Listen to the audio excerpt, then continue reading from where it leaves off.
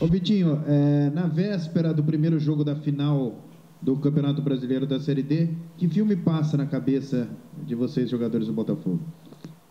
Passa um filme é, muito, muito legal, pelo menos na minha cabeça, né? De, de superação ao longo do campeonato.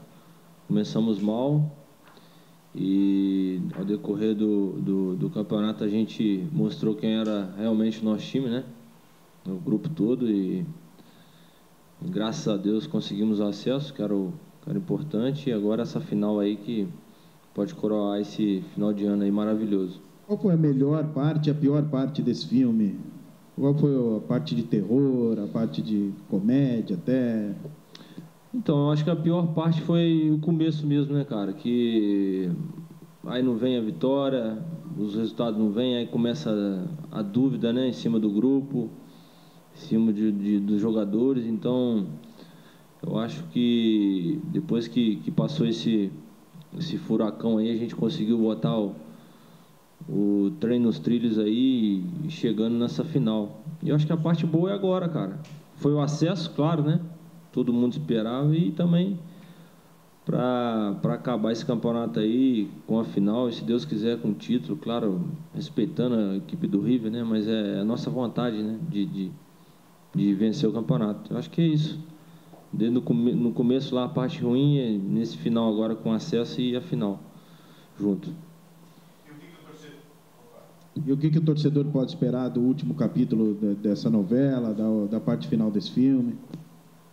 Ah, esperar o final feliz, né, cara? Que a gente vai tentar, pelo menos, como a gente está tá vindo fazendo grandes jogos contra grandes times, é, times que, que eram sempre favoritos contra a gente, a gente sempre respeitou. Teve time que não, não respeitou tanto o nosso, o nosso grupo, né? Então, acabou ficando para trás, mas isso aí é coisa que acontece no futebol. Mas a gente, mais uma vez, vai respeitar o River, porque tá na final não é, não é fácil. Então, nossos parabéns para o River também de estar nessa final, mas é uma coisa que a gente quer muito. Vitinho, é, River Plate você conhece, né, da Argentina, e o River do Piauí? O que, que vocês sabem do, do time? É um time muito qualificado, cara. É, que toca bem a bola, tem atacantes de grande mobilidade na frente, não é atacante que, que fica fincado lá dentro da área, consegue sair da área bem, tem, tem jogadores que, que, que dão belos passes ali, que a gente percebeu durante o vídeo.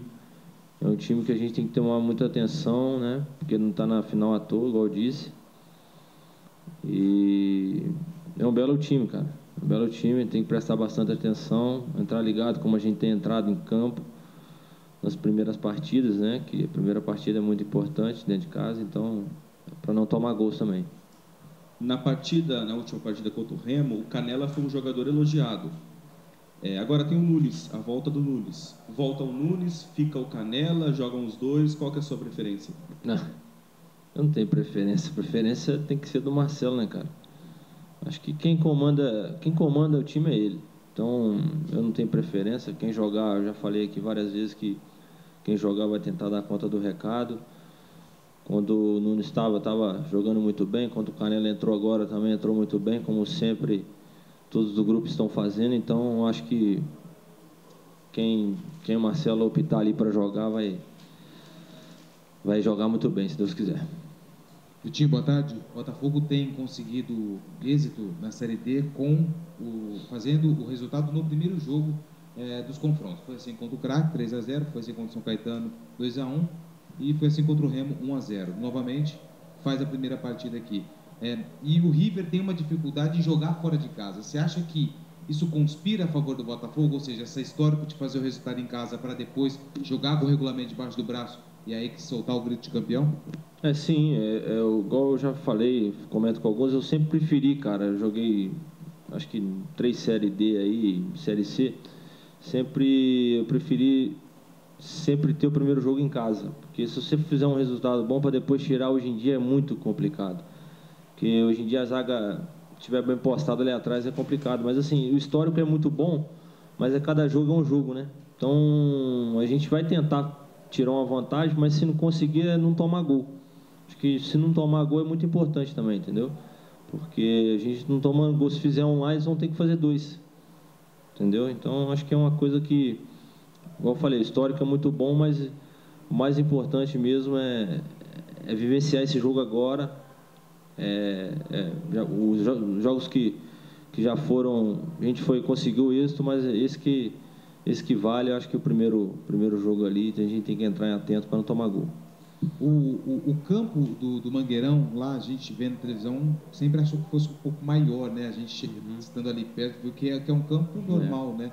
É, o Botafogo tem um, um, campo largo aqui e o, o, River também joga num campo de dimensões grandes, que é, o, que é o Albertão. Você acha que eles não vão ter dificuldade, conforme as equipes que vinham aqui em Ribeirão Preto enfrentaram, Crack, São Caetano, em relação à dimensão do gramado? É, isso ajuda bastante, né, cara? Porque quem joga em campo grande tem uma, uma dimensão, sabe das dimensões do, do, do, gramado mais ou menos, tem uma, uma noção assim de, de dar um lançamento, de dar um passe, né?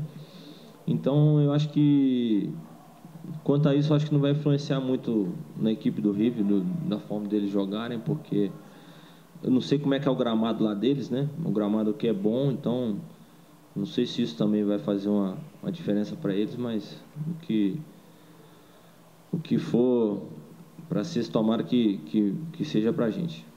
A gente sabe que o apoio da torcida tem sido fundamental nesses jogos, né? E mais do que isso, o, o, a premiação de vocês, a gente sabe, título, depende muito dessa boa renda do Botafogo nesse jogo, né?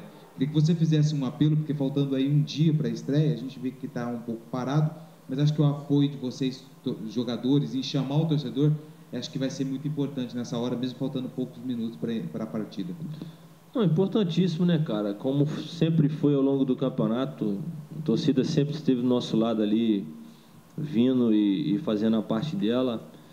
E a gente lutou bastante junto. E agora é um momento muito bom, né, para a torcida vir apoiar, para conseguir um título aí que o time, o clube, né, tanto, tanto necessita assim de, de brasileiro. Então, acho que se eu faço um apelo aí aos torcedores para vir para ajudar a gente, porque a gente necessita da ajuda de vocês, que é super importante. Então, eu, eu prefiro que a torcida venha, compareça e que a gente saia com uma boa vantagem aqui. Ô Vitinho, você falou no começo para o Aranha que não toca pandeiro. Como é que é a concentração aí na véspera de um jogo decisivo, no final? vocês fazem na concentração? Jogam videogame? É, fazem um pagode? O que, que vocês fazem? Não, pagode não, né? Pagode é, é complicado. Mas assim, cada um é, tem uma forma de se concentrar. Tem uns meninos que gostam de jogar videogame, eu gosto. Tem o pessoal, o Daniel, o, Augusto. Então, cada um ali da sua forma ali, a dupla de, de quarto ali que vai vai concentrar. Cada um gosta de fazer uma coisa. Tem uns que gostam de, de descansar bem de ficar vendo televisão, outros gostam de ver, ver filme, então é uma coisa bem particular de cada um e eu acho que está mais que certo, mas sempre focado no jogo, né? Que está para vir aí a, amanhã. Então, é, acho que é isso. Faltam dois jogos ainda, né? Mas vocês ensaiam algum tipo de comemoração especial para essa final? O Botafogo já fez uma comemoração no acesso. Vai fazer alguma coisa diferente ou não? Não, não marcamos ainda. Se marcou, não estou sabendo de fazer comemoração assim de. Você fala como? Não entendi. Sei, um tipo de comemoração, alguma festa. Não, não. Porque vocês fizeram uma festa com trio elétrico. Não, ah, sim, sim, sim. Aí, não, aí é com a diretoria, né? A diretoria que, que vai ver se vai ter. É claro, primeiro a gente tem que jogar. A gente tem que, que pensar no horrível, né? Mas se, se, se formos campeões, aí é, cabe a diretoria para para fazer isso aí, entendeu?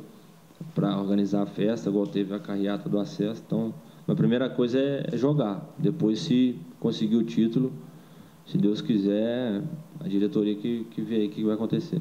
Mas é, essa é a sua primeira final ou você já disputou outras finais? Não, não, já disputei. Como é que foi? Eu fui campeão. Não, mas como é que foi a festa? Cara, a gente foi para uma churrascaria. A gente fez uma carreata, né? Lá na cidade, na minha cidade, lá em Juiz de Fora. Depois a gente foi para uma churrascaria. É, comemos e cada um foi para sua casa comemorar com a família, né, que é importante também.